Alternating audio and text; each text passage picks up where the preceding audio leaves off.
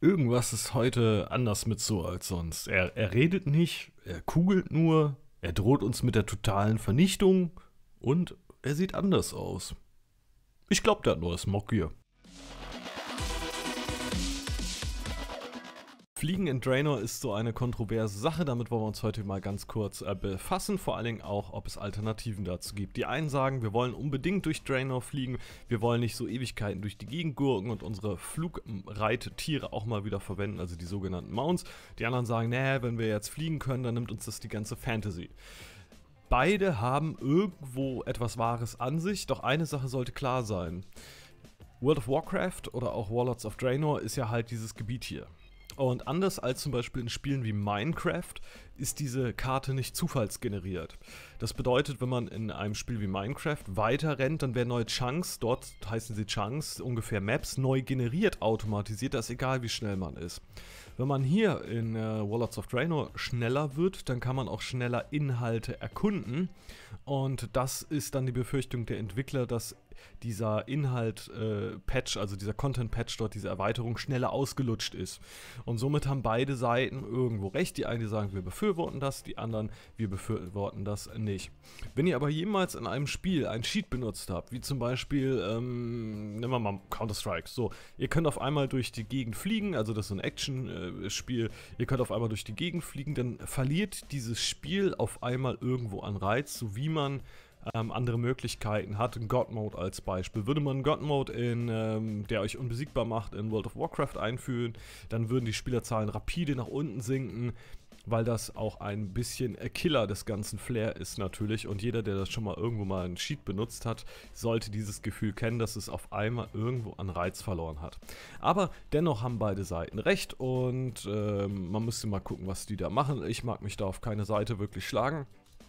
Ähm, sehe das halt nur eben mit diesem Inhalt ähm, so, dass der eben nicht zufallsgeneriert ist und ähm, schnellere Geschwindigkeit bedeutet auch, auch schneller äh, Content weg. So, ausgelutscht.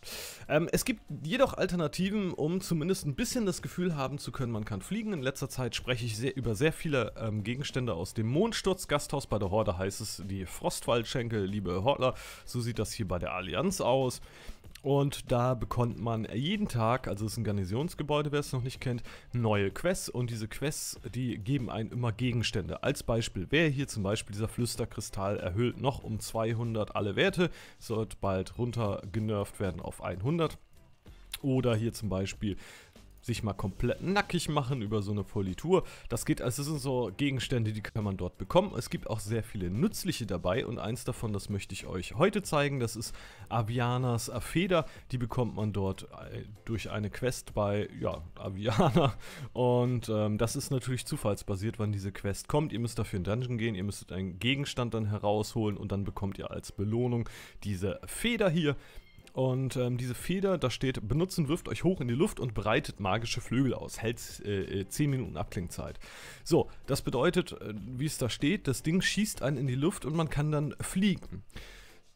Man kommt aber auch irgendwann halt wieder herunter und man geht in einen Sinkflug über. Um das so lange wie möglich herauszuzögern, kann man dann eben noch vorher sich einen Gleiter auf den Umhang zum Beispiel, hier als Ingenieur geht das, auf den Umhang machen verringert das Falltempo und oder man kauft sich eben einen Gleiter von einem Ingenieur, das geht auch und dann kann man noch länger fliegen und wie weit das hier reicht, das möchte ich euch jetzt mal zeigen. Ich stehe hier in der Garnison der Allianz, liebe Hortler, wir werden in nächster Zeit auch uns mal ein bisschen mit Blutelfen befassen, das kommt noch, ich bin mir dessen bewusst, dass ihr ein bisschen untergegangen seid momentan.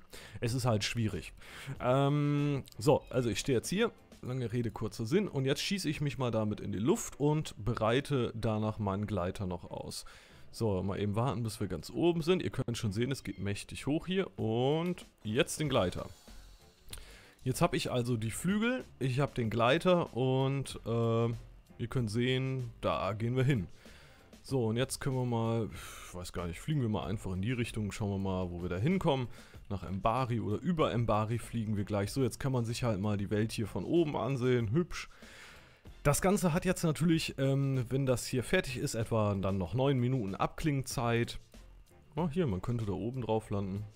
und ähm, ist natürlich abhängig davon, wie weit ihr kommt von eurem Standpunkt aus. Klar, wenn ihr nach oben fliegt dann ähm, und tief seid auf der Map, dann werdet ihr natürlich nicht so weit äh, kommen, wie als wenn ihr von einem Berg startet, dann könnt ihr natürlich viel weiter kommen. So, und jetzt habe ich es zumindest geschafft, in äh, wenigen Sekunden hierher zu kommen. Das ist doch schon ein ganz schönes Stück und das kann einem manchmal doch recht helfen, wenn man irgendwo eine Quest hat und äh, ich möchte jetzt hin, ich möchte jetzt abgeben. Dann nimmt man einfach diese Flügel hier. Ich, es ist Glückssache, wann ihr die bekommt. Das gibt jeden Tag neue Quests dort in eurem Gasthaus und die wechseln sich stetig ab. Ihr könnt natürlich Pech haben, das dauert eine Zeit, bis ihr diese Quest erhaltet. Oder ihr habt eben Glück, ist gleich beim ersten Mal da. Man kann natürlich auch dieses Gasthaus irgendwann wieder abreißen, wenn man sagt, so, ich habe jetzt alle coolen Gegenstände, ähm, die man hier benötigt. Momentan auf jeden Fall ganz klar der Flüsterkristall, also früher Kristall des Wahnsinns, dieses Mal übers Gasthaus der Flüsterkristall. Dann auch sehr cool diese Feder hier, das sind so wirklich die nützlichsten Gegenstände da. Da gibt es natürlich noch jede Menge Fun-Items und ähm, es gibt auch Ressourcen und Gold wenn man die Truhen dort immer öffnet. Also man bekommt in der Regel, wenn man eine Quest abgibt, eine Truhe oder eben Questgegenstand. Sollte man den schon mal gehabt haben, also diesen, diese Quest, dann bekommt man immer kleine Truhen, da ist Gold drin oder Garnisonsressourcen. Da gibt es natürlich etwas, das lohnt sich dafür viel mehr, auch wenn zum Beispiel Wildblut verkaufen oder sowas, da sollte man vielleicht doch andere Gebäude nehmen, aber um einmal diese Gegenstände hier zu erhalten, ist das schon ziemlich lustig, vor allem kann man mal seine Kumpel einladen, wenn einen die NPC jetzt nicht gerade dort die Plätze alle wegnehmen, was sie gerne machen und kann mit denen da mal äh, mit den zwergischen Freunden ein Bier trinken im Gasthaus. So, jetzt habe ich natürlich noch ein bisschen Abklingzeit hier drauf, 8 Minuten, aber es hat mich doch schon ein Stück weitergebracht. Dementsprechend, es ist natürlich kein richtiges Fliegen, aber ihr könnt damit zumindest ein bisschen äh, das Gefühl haben, da nochmal rumzugurken, könnt ein paar hübsche Aufnahmen oder Screenshots machen oder eben von einer Quest zur nächsten fliegen. Ich wünsche euch viel Spaß dabei.